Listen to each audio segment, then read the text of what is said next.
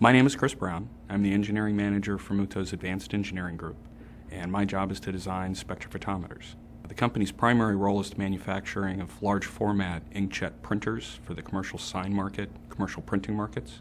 We began development of the SpectroVUE to address the needs that had arisen from our customers to do two things.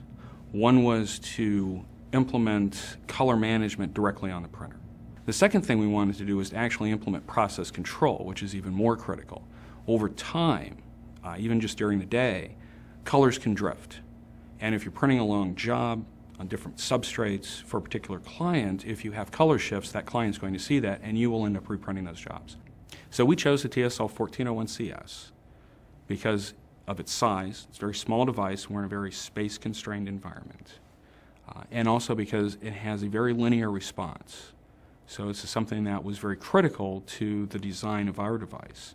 TSL 1401CS from TAOS gave us the design flexibility that we needed to repurpose our technology. What was really core to this was the design versatility that we had by using the 1401.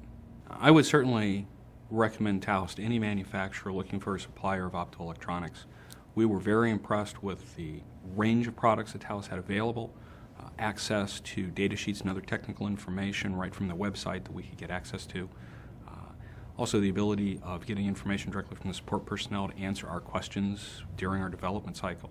And then as we have expanded, gone into production and expanded our production volumes, TAOS has been able to meet all of our production requirements.